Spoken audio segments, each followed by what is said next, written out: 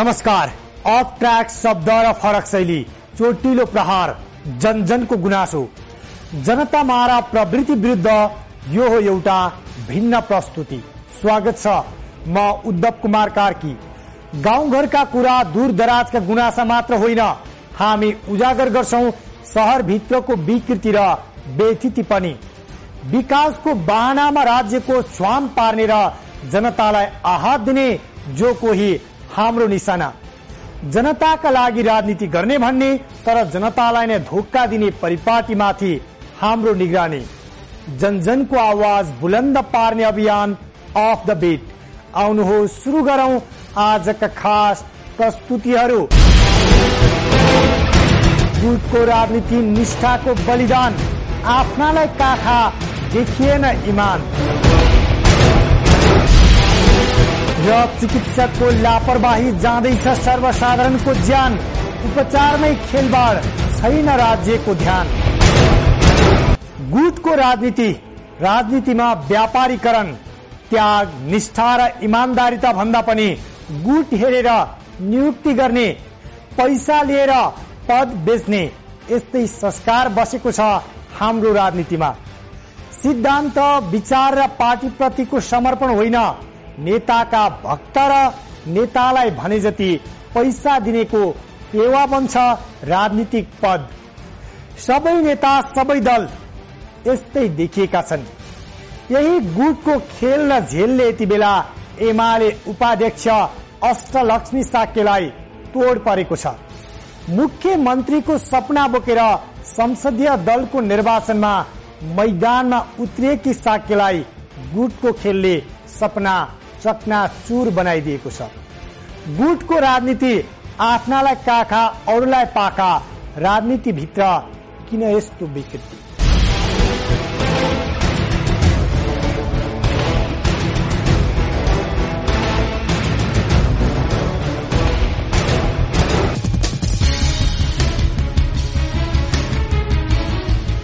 शुक्रबार एमाले प्रदेश नम्बर तीनको संसदीय दलको नेताको निर्वाचन भयो। अब्बल दावेदार मानिएकी अष्टलक्ष्मी साके पराजयको खबर आयो। सर्वसाधारणले एमाले लोकतान्त्रिक पद्धति अपनाए होला भनेर पत्याए पनि। उम्मेद्वार साक्य स्वयंलाई भने गुटको तिरले जिल बनायो। हो अष्टलक्ष्मी साके एमालेकी उपाध्यक्ष ठूलो कदकी नेता त्यागी सादगी। दुई हजार अठाइस सालदेखि वामपन्थी राजनीतिमा लागिन्। दुई हजार छत्तिस सालदेखि त भूमिगत नै भइन्। एमाले पार्टीको इमान्दार सिपाही भएर काम पनि गरिन्।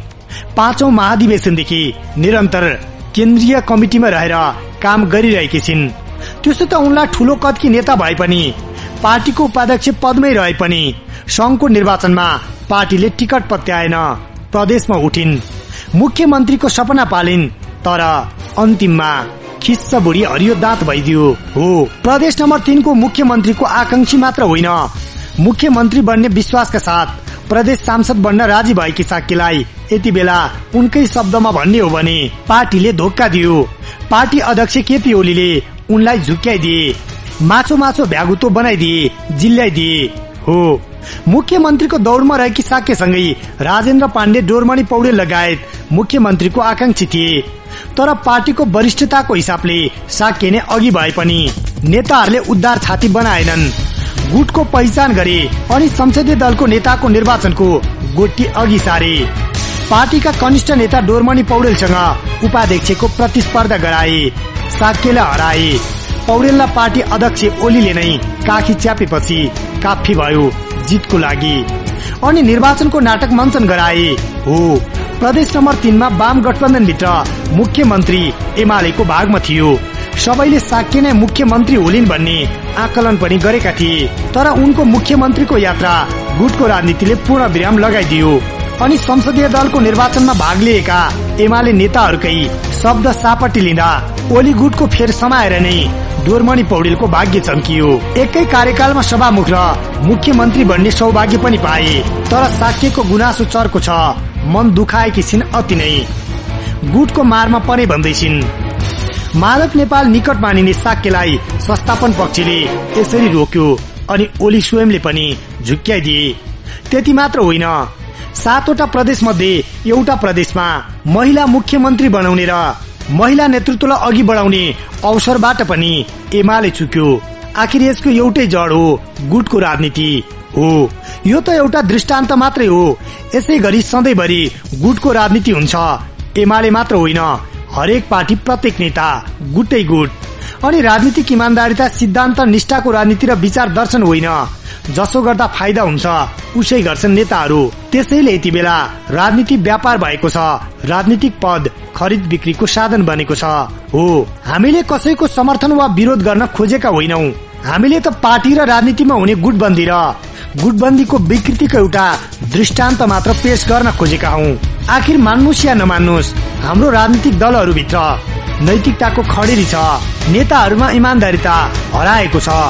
सधैँभरि यसै गरी गुटमा रमाउने राजनीतिको नाममा कमाउने परिपाटी चलिरहेको छ। मुलुक हाँक्ने मियो मानिने राजनीति यसरी दुर्गन्धित भयो भने कसरी होला मुलुकको विकास कसरी होला समृद्धि? गुटको राजनीतिले नेताहरूलाई क्षणिक फाइदा भए पनि आखिर यो त राजनीतिलाई नै दुर्गन्धित बनाउने खेल भएन र। भयो नि होइन र?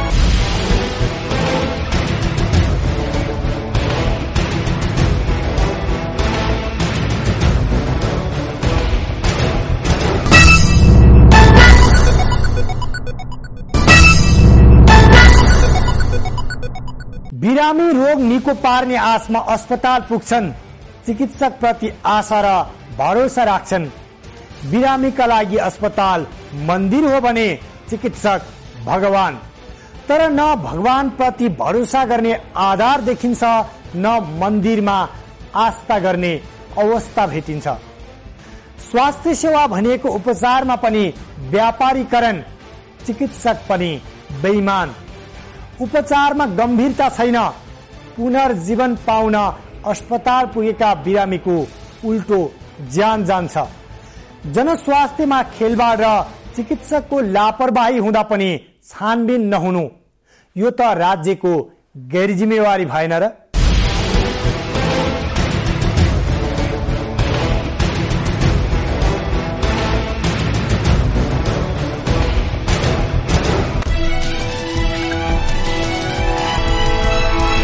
दर्शक ब्रेन्ड यो लुम्बिनी अञ्चल अस्पताल तर यो अस्पतालमा यति बेला चिकित्सकको लापरवाहीको घटना बढ्दै गरेको आरोप लाग्न थालेको छ।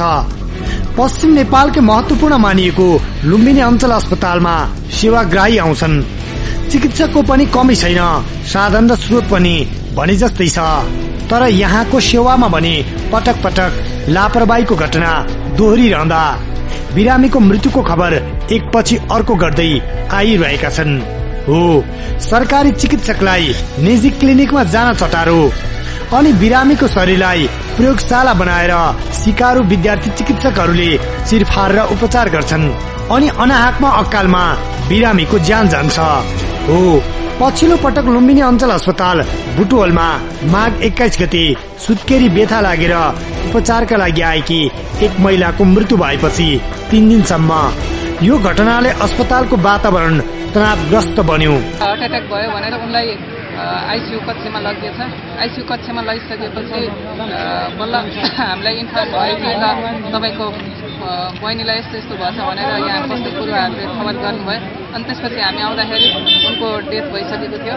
सुरुमा हार्ट एट्याक भन्ने डक्टरबाटै अनि त्यसपछि पानीको फकुन्डो फुटेर यो पक्षतिर गएको मुटुतिर गएको अनि त्यसको असर हो भन्यो अनि त्यसपछि तेस्रो पटक फेरि यस्तो जनरल केस लाखौँमा एक दुईजनालाई हुन्छ। त्यसमा तपाईँहरूको लागि पर्यो हामीले सकिएन। त्यसको लागि क्षमा प्रार्थी छौँ छानबिन गरौँ भन्नुभयो अनि छानबिन समितिको लागि एकजना डक्टरको नाम दिनुहोस् भन्नुभयो।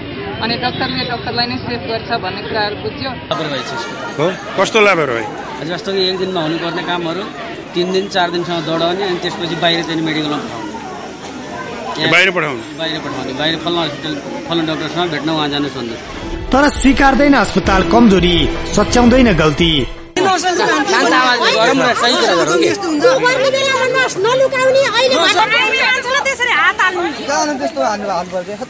हो यो त एउटा उदाहरण मात्रै हो। एकपछि अर्को गर्दै पछिल्लो समय लुम्बिनी अञ्चल अस्पतालमा यस्ता घटना बढिरहेका छन्। अनाहकमा अकालमा बिरामीले ज्यान गुमाइरहेका छन्। सामान्य रोग लागेका बिरामी पनि अस्पताल पुगेर उपचार गर्दा उल्टो ज्यानै जान्छ।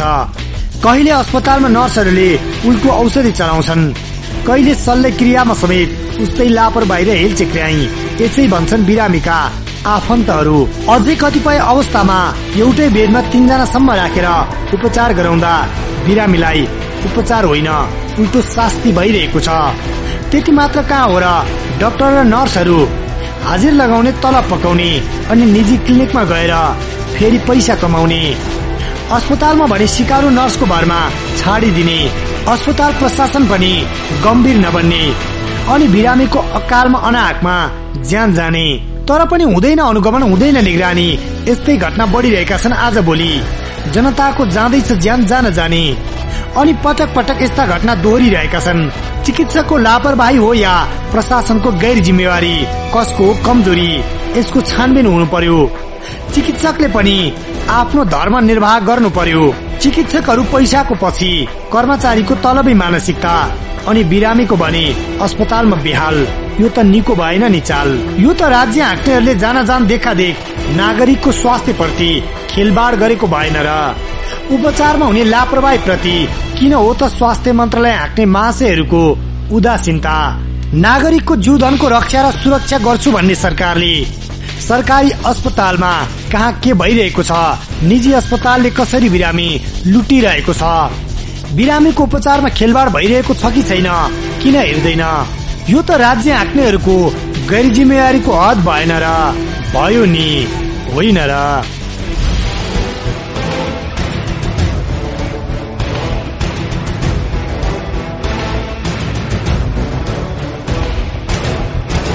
दर्शक वृन्द अफ द बिटको व्यङ्ग्यात्मक यथार्थपरक एवं तीको प्रहारमा तपाईँको संलग्नता र सहकार्यका लागि हामी प्रतीक्षारत छौँ यदि तपाईँको कुनै सल्लाह सुझाव र गुनासा छन् भने हाम्रो टेलिफोन नम्बर शून्य एक चार दुई दुई सात दुई दुई दुईमा फोन गरेर आफ्ना सुझाव सल्लाह र गुनासा राख्न सक्नुहुन्छ। हवस् त। अफ द बिटको यही बिट मारौँ। तपाईँ हाम्रो भेटघाट हुनेछ अफ द बिटमै नमस्कार।